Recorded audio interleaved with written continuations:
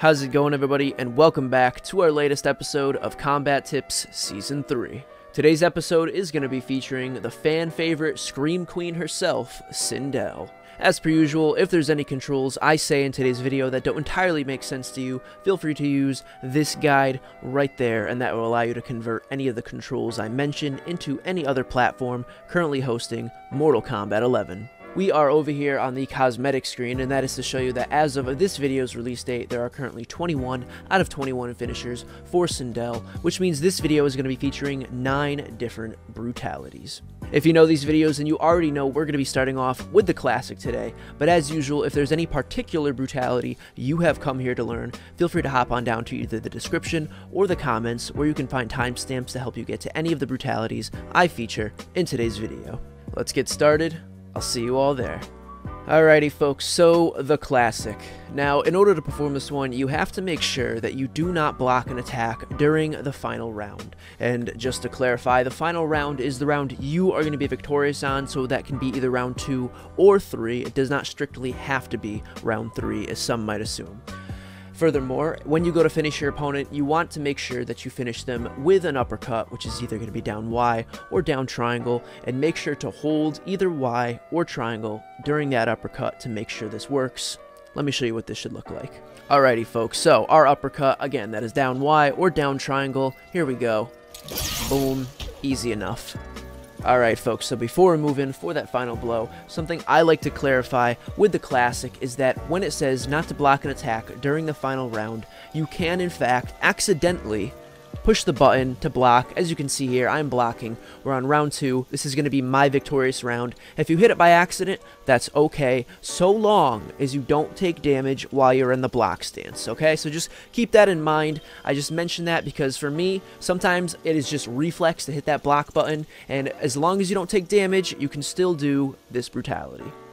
So here we go, folks. Let's finish the opponent. One more reminder, do not block an attack during your final round. Again, it's okay if you accidentally hit the button, just don't take damage. And beyond that, all you got to do is finish your opponent with an uppercut, which is down Y or down triangle, and make sure to hold either Y or triangle on your respective controller during that uppercut. Here we go, folks.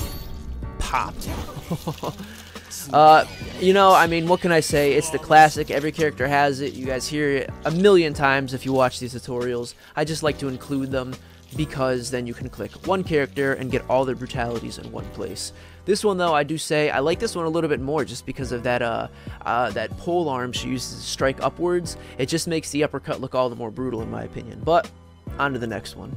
So next up we have the Edenian Guillotine. Now in order to perform this one, you want to finish your opponent with a towards throw, and while that animation is playing out, push down three times quick, though if you want my advice, just spam down to guarantee that it works. Let me show you what this should look like. Alrighty folks, so when it comes to throws, there are two ways we can perform them. We can either tap L1 or left button, like so. This is the most traditional way that I like to do it, it's just the simplest way on a modern controller. However, if you are more versed in arcade style play and you prefer, you can actually push square and X at the same time, or X and A at the same time, and as you can see, we also do a throw. Now something to note here for this particular brutality is we need to do a towards throw, and as you just saw, both of those demonstrations were back throws. Now, all we have to do to switch it up to a towards throw is push forward into the direction of the opponent while pushing that respective throw input. So in my case, I'm going to push L1 and move towards the opponent, and as you can see here, that is our towards throw. Simple enough. You can also do the same again with the arcade inputs. Just move towards the opponent, tap your two inputs, like so, and boom, a throw. Alrighty folks, so we're going to finish the opponent now. Again, all we have to do is perform that towards throw and push down three times very quickly. But again, if you want my tip, just spam the down direction. It'll help guarantee that this works. Let's go for it. Forward throw, spamming down. And there we have it, folks. This one is just very sassy. I like it in that regards. It's not even necessarily the craziest animation of sorts, but just that little, oof, little flick of the hair at the end. I like it. It's a nice little salt to the wound, if you ask me. On to the next one.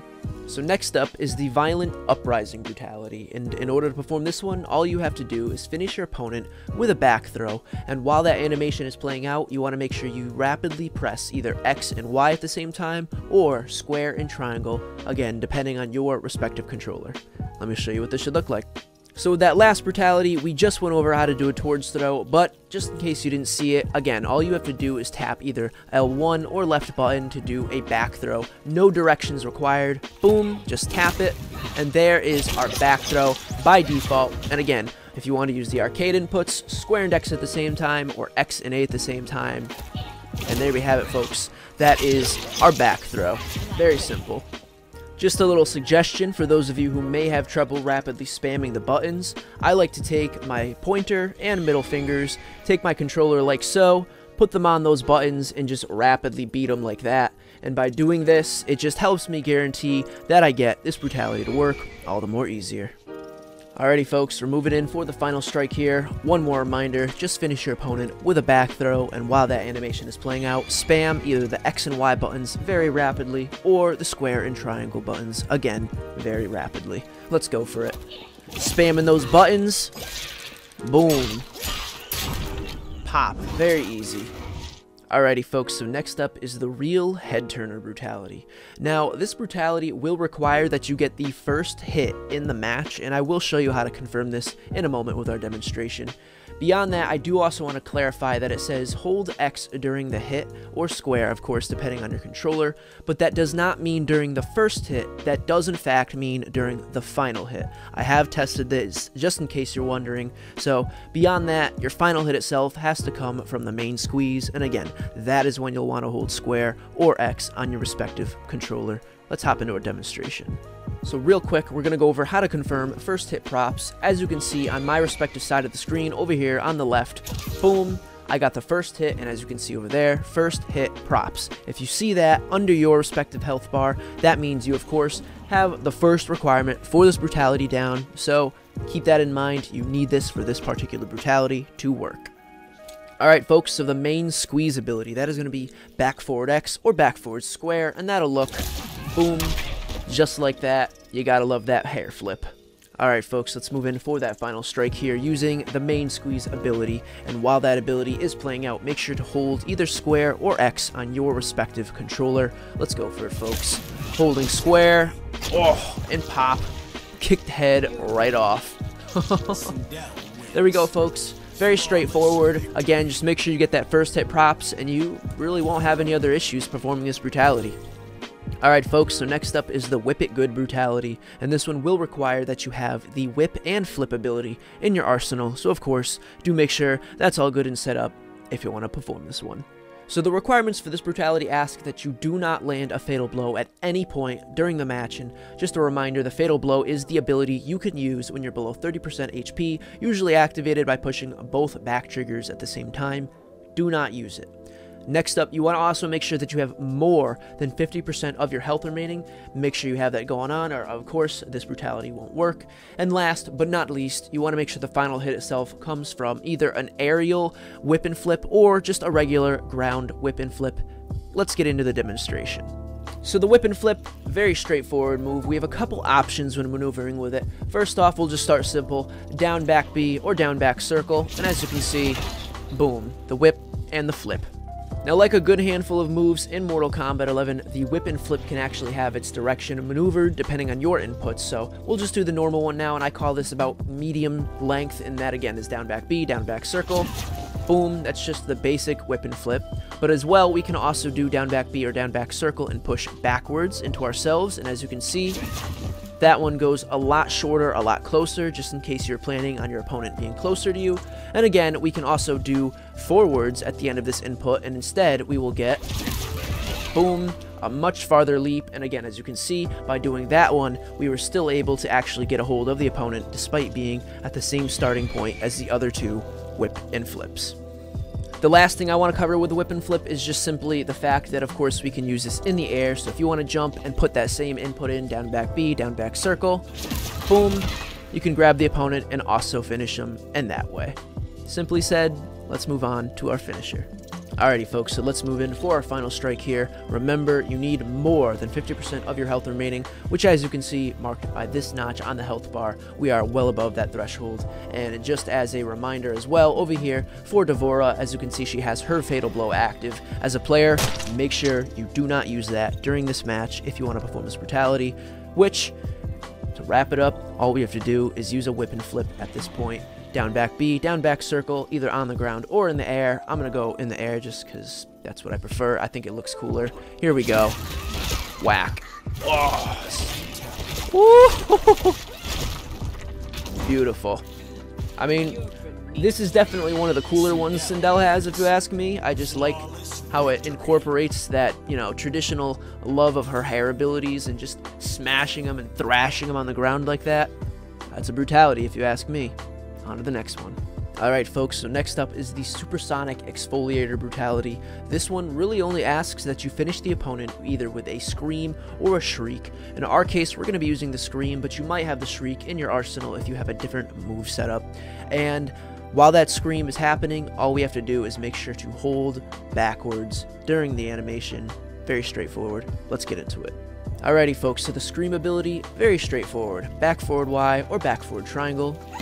And as you can see right there, we can also hold either Y or triangle, like so, and that'll charge it up. And boom, stun the opponent a little bit harder if you manage to hit him with it. Sometimes you'll also get a crushing blow if you can hit him as a punish or a counter to one of their incoming moves. Alrighty folks, we're moving in to finish the opponent with the Scream ability, back forward Y or back forward triangle, and just make sure to hold backwards during this animation. Let's go for it. Oof. Now that is indeed an exfoliation. Jesus. I like this one a lot actually. I know it's not too crazy, but just the idea of having all of your flesh removed by purely sound or screeching seems unpleasant if you're asking me.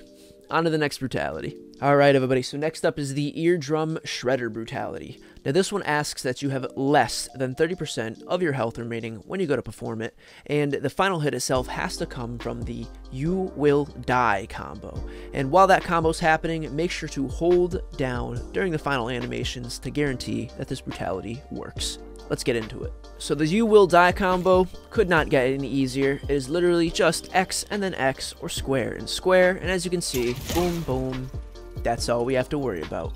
So just some quick confirmation for you folks. As you can see up here, we are at 290 out of 1000 HP. That means in this case, 300 HP would be 30%. So as long as you're below that, you should be good to go. A quick way to know this is if you have your Fatal Blow active, that again means you are in the proper threshold.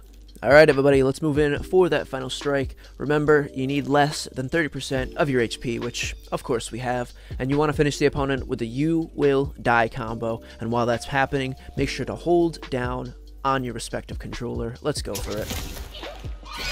Ooh. Oh. Now that's a headache. I like this one because it doesn't just rupture the head, it bores a hole through it, and that's just like a whole another level of nasty all on its own. It's gross to see gore and giblets everywhere, but it's almost another type of gross to see them still slightly intact yet mangled. I don't know. On to the next one, folks. Alright folks, so next up is the getting in their head brutality. Now this one will require that you have the enhanced regal presence ability set up, so make sure you have this right here ready to go if you want to perform this brutality. As for the requirements, the final hit must come from a Star Screamer during the Regal Presence stance, and you want to make sure that final hit itself comes into contact with the opponent's head. So, let me show you what this all should look like right now. Alright folks, so Regal Presence is either going to be down back A or down back X. And as you can see, that puts us up in the air. Now we have a couple different options here. We can use Queen's Dominion with B, we can use the Scream with the Y button, or, in our case, we want to use the Star Screamer with X. Just like that. Very simple, folks. One more time. Just go into Regal Presence stance with down back A or down back X, and then you simply push the X or square button right after, and boom. If you ask me, get to about medium distance if you can, and that should usually come into contact pretty nicely with the head. Alright folks, let's move in for the final strike here. Again, all we want to do is pop up into Regal Presence. I suggest doing it from about a medium distance if you're trying to go for this brutality. Here we are, up in the air with our Regal Presence, and then finish the opponent with a Star Screamer, which is either X or square on your respective controller. Boom. Woo! I almost wish the head didn't explode in those like jack-o'-lantern jack-o'-lantern those jack-o'-lantern like flames just kept coming out of him. I don't know. That one looked really cool for a moment. Not that the explosion isn't good, but it would have been cool if they just kept the burning going on the whole time. If you know the opponent just collapsed and I don't know, wasn't that permanent jack-o'-lantern like state? I like that animation. I thought it looks pretty cool. But on to our last brutality for today, folks. Alrighty folks, so last but certainly not least is the half measures brutality. Now this one asks that your final hit come from the Evil Queen combo, and while that animation is playing out, you want to hold up to guarantee the brutality works. Additionally, you want to also make sure that you have more than 40% of your health remaining. Let me show you what this should all look like right now. So the Evil Queen combo is going to be forward Y, X, up Y, or forward triangle, square, up triangle. And that'll look something like that. Very easy. Just the usual health reminder since this brutality requires it, make sure you have more than 40% of your health remaining marked by this notch right here, or again if you have statistics turned on, 400 HP or more, you're all set to do this one. Alrighty folks, so let's move in for the final strike here. Remember, you need more than 40% of your HP remaining, which we are well above that threshold. And then you want to finish the opponent with the Evil Queen combo, and while that's happening, during that last bit of the combo, make sure to hold up. Let's go for it.